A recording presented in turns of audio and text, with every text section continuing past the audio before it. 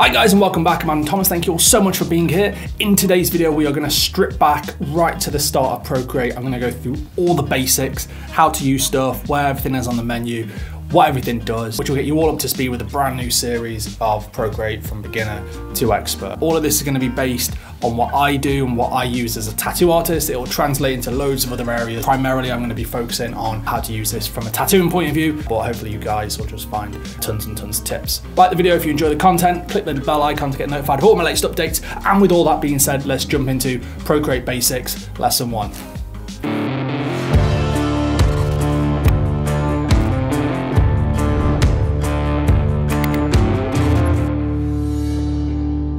So first things first, you want to grab yourself your iPad, make sure you've got your Apple Pencil. It's going to make your life a lot easier than just using your finger. Uh, you want to download Procreate, you can find it from the App Store, uh, or if you're not using an iPad, I'm sure you can get it from uh, the Google Store or any any anywhere you normally get your apps from. Uh, so open up Procreate. The first screen you're going to come to is the gallery screen. This is where you're going to have all of your past projects. If you haven't used Procreate before, this will potentially be empty with maybe just a few uh, stock files uh, that Procreate put in there. Um, but this is where all your work is going to be saved uh, and stored so you can go back and work on stuff at a later date. In the top right hand corner, you can see that we've got a few icons. We've got select, import, photo. Select is going to do exactly what it says on the tin. It's going to allow you to select any of the files if you want to do mass delete, if you want to stack, preview, share, and just give you a few little options in that sense. So stack or basically put them into a little folder. As you can see how that's grouped them together. So say you've got uh, a designs folder or you've got uh, like client folders or folders just for roses or, or whatever. It's just gonna allow you just to put those together uh, and just keep them all uh, in one place. Import, it's gonna import stuff into this. So if you've seen uh, how to import fonts into Procreate, uh, this is where I do that. Again, you can go back through the channel, you can find that video. Uh, photo, it's just gonna import a photo straight into the gallery. So instead of you um, open up a file and selecting your file size, uh, you can just import that straight in and edit that straight into uh, in Procreate.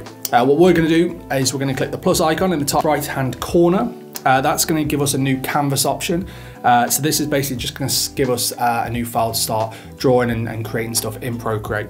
Uh, for me, if you've seen any of my other Procreate videos, I use A4. Uh, that's mainly because uh, as a tattoo artist, most body sizes are A4 and it gives me in my head an idea of the size that I'm designing on the canvas um, in the sense that I know how big a sheet of A4 is. So whatever I do on the iPad, once that gets printed out, it's pretty much going to be the right size. Um, you can make custom canvases, which is the little little grey icon with the plus, but for me, I mainly just use A4 unless I'm doing anything specific like YouTube thumbnails, um, Instagram Reels and stuff like that. Uh, so we'll just go, click A4. That's going to open some brand new document. It all looks white at the moment. If you just pinch and close that down a little bit, that is our A4 sheet. Uh, so like I say, we know how big an A4 sheet is in real life.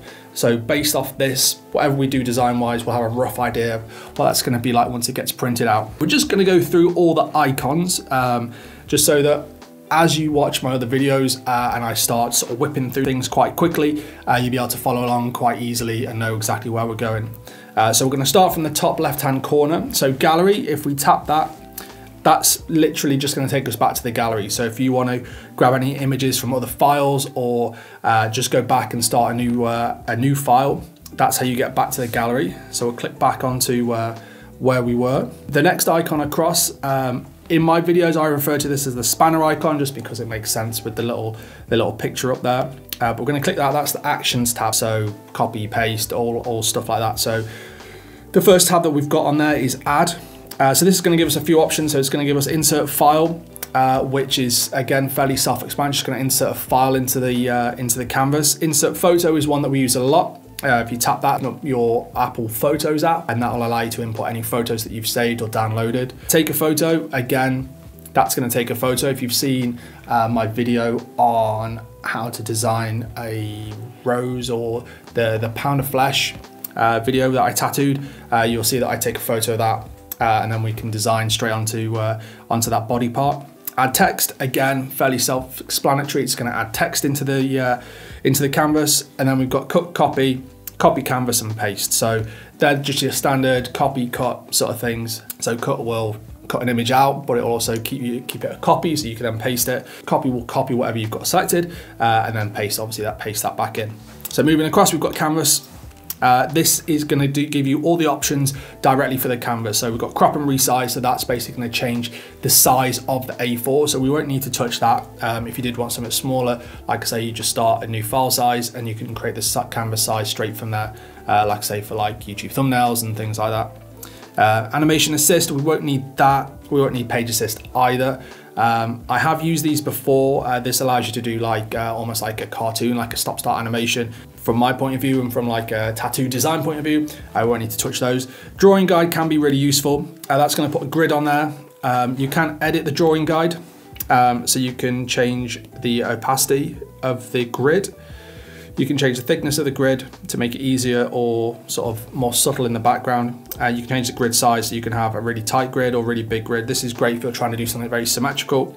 Uh, and obviously you can change this to isometric, perspective, uh, and symmetrical. Um, so if you're trying to do like mandalas and patterns and things like that, helps you out a lot there. Uh, assisted drawing, if you click that on, basically what it does is as you start drawing lines, they're gonna snap to the grid. Um, so if you're trying to do something like an isometric perspective drawing, like a one point or two point perspective, or if you're trying to say like do a mandala, it's going to help you just to snap to those lines, keep everything really nice and tight. Uh, but we'll go into that in a bit more depth uh, in a later video. So going back to the actions tab on canvas, moving down, um, we've got reference. I'll be honest, don't know what reference does. Um, we've got flip horizontal, which is just going to flip your canvas horizontally, and then vertically same sort of thing. And then canvas information, just give you the information about the canvas, so canvas size, all the information you put in there, so it'll give you the file size. If you click the share, that's gonna give you all the share options. So this is where I do my printing, um, or if you're trying to save a file out or get it onto a different device. I mainly use PDF, so PDF will just stop it from changing any sizes through printing. So you think they've changed it now with some of the updates, but it used to be a case of if you printed JPEG, It'd be a teeny tiny image on your A4 sheet and it'd be really, really frustrating. You'd end up having to save it out and print it through your printer's printing app. Whereas if you print straight from PDF, it will uh, retain the file size and it'll print everything A4, everything will be perfect. The different file types uh, do different things, but we'll go into those in a later video. Uh, and then share layers.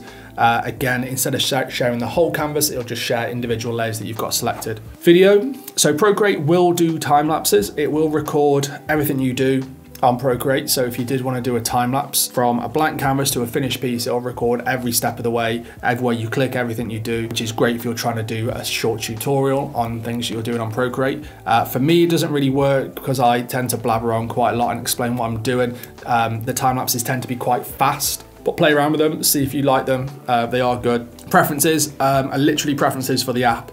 Uh, I don't change a lot of this because I've got it set how I want and it's pretty much how it comes as standard. Um, so light interface, that'll just change everything from black to light. Uh, for me in the morning, it's just a little bit too much. Uh, right-handed interface basically just flips everything onto the other side. Dynamic brush scaling. I have no idea what that is.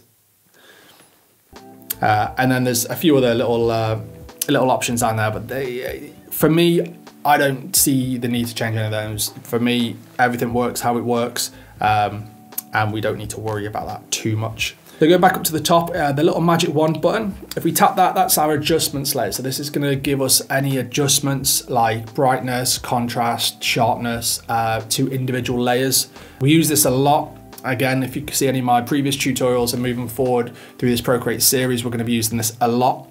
So uh, I'm not going to go into it too much uh, detail wise, but in a nutshell, that's where you're going to be able to adjust like, like I say, like your hue, your saturation, brightness, uh, your main things that you're going to need to manipulate images to make them tattooable. And then like moving through blurring and sharpening, they're going to help you out a lot uh, to make images clearer or give you that nice sort of like dynamic look. So moving across to the little um, little S icon. So this is the select icon. So once you've got images on your canvas, it's going to allow you to draw like marquees around them. So you can select certain areas. So you can delete, move and add and take away things. All of these things we're going to dive into a little bit deeper in some later videos. But for this, this is just going to be a, a, very basic overview. So again, that's the select icon. So yeah, moving on to the arrow icon. Once you do have things selected or you've got layers available, at the moment we've just got a blank canvas. It's going to allow you to manipulate those layers individually. It's going to allow you to flip horizontally. It's going to allow you to resize, uh, manipulate the shape, distort, warp, a lot of other tools. Again, we're going to go into those in a lot more detail. Uh, this is just the basic overview. So moving over onto the right hand side, we've got your tools. So the first one we've got is your brush tool. So if we tap that, that's gonna give you all of your brushes in the brush library. Online, you can download hundreds of brushes. Basic ones that come in Procreate uh, are really good for your, your day-to-day -day sort of stuff. Uh, there's some incredible uh, companies out there that do um, amazing tattoo brushes uh, for like dot work and stippling and, and other effects that work with the tattoo process. For me, I use just a few brushes on a day-to-day -day basis and they're gonna go into this top little section, which is recent. Uh, so technical pen, that's what I use to do all my stencils. I've got it set so the line weight is perfect for my printer. It means I can get a lot of detail in there. It's definitely gonna get picked up by my thermal copier uh, and it's not gonna be too overly cramped and just bleed out. Soft airbrush, I use that for erasing stuff, just gives me a nice soft sort of outside edge. Clouds, I use that for a lot of backgroundy stuff, just very simple, just to soften things out. Uh, and the other tools are just there uh, for when I need them. Moving over, I've got the smudge tool. I personally don't use the smudge tool a lot. It does have a place and a purpose with some sort of arty uh, design elements. For me and the stuff that I do with black and grey realism, it doesn't really sort of work for me. Uh, so we won't probably be using that a lot uh, throughout the tutorials. Moving on from that, we've got the eraser tool. Again, very similar to the brush tool, but instead of adding, it's gonna take away. So if we tap that again, it's gonna bring up the same brush library that we had before. So recent is gonna have um, all the recent brushes that we used for erasing. Um, for me, like I say, I mainly just use soft airbrush, um, but there are a few other ones that I do tend to use. Um, like if I'm trying to get nice negative strips and stuff like that through pieces, um, I'll use a few different brushes, but generally speaking, it'll just be the soft airbrush that I use for my eraser uh, and that's just gonna take away uh, elements that are on that layer that you've got selected. The next one across, the two little squares, that's our layers tab. So this is where all of your layers that you import into the piece are gonna be. So if you've got any images, if you are stacking up design elements, uh, they're all gonna be there. They work in a way, uh, if you imagine a stack of paper. So whatever's on the bottom, as in the bottom of the list, as it goes down, that's gonna be a bottom piece of paper and everything else is gonna stack above that. So if you keep that in mind, if you're adding, if you've say got a rose and you're adding leaves into it, you're gonna want those leaves on a lower layer so they sit behind the rose layer. Again, we'll go into that in a lot more detail and I do brush over this on my how to design tutorial. So if you go and check that out, uh, you'll be able to know exactly what I'm on about. The last one we've got is the color picker. There's a few different ways you can manipulate the color picker. This is how I have mine. So I have the full spectrum across the top plus the uh, manipulation tools uh, and then my history. I pretty much just use a few colors. So I use black and white for highlights and shadows if I'm manipulating pieces. Uh, and then for my stencils, I used to use green. I've now moved over to red. It doesn't really make a lot of difference, just need a high contrast color, uh, which is why I've pretty much just got black, gray, white, and red. Obviously you have the full spectrum of colors if you're trying to create um, a completely custom art piece. Um, but for me, they're the colors that I use uh, and that's where the color picker is. Move over to the left-hand side, uh, we've got like the brush sizing tools. Uh, so this top slider, this is gonna do the size of your brush. I'm currently on technical pen, which I normally have at 5%. Again, we'll go into why I have it on 5% and, everything else in a later video. That's gonna do your size. Uh, the middle one is basically like an eyedropper tool. So if you've got layers on here, you can move the eyedropper around by clicking in the center that'll pick up whatever color you land on and then you can then use that color to then uh, to draw with uh, so that'll change the the color in the color picker again this will make more sense once we've got images in here and I can uh, go through that a little bit more uh, the one underneath is just the opacity so uh, if you are drawing or erasing you can change the opacity from 100 to 0% and that way you can take stuff away or add stuff in. Uh, and then the two underneath is undo and redo. So there you go guys, that is pretty much a quick run through of what all the buttons and everything do in Procreate. Like I say, I'm gonna go into them all in a lot more detail and a lot more depth. This is just a quick overview so you guys know where everything is, what I refer to when I'm saying go to this corner, go to that corner, click this icon, and it'll just help you to be able to just keep your head down, get stuff done on your iPad without having to keep pausing uh, and stopping the video in later videos. Uh, like I say, we are going to go into a lot more detail into what these things do, and we'll go into a lot more depth and uh, explain why I use certain icons and what, what I use them for. So if you enjoyed this video, make sure to click the like button, subscribe to the channel if you enjoy the content, click the bell icon to get notified when I upload all the next Procreate videos. And with all that being said, thank you so much for watching guys, and I will see you on the next video. Peace.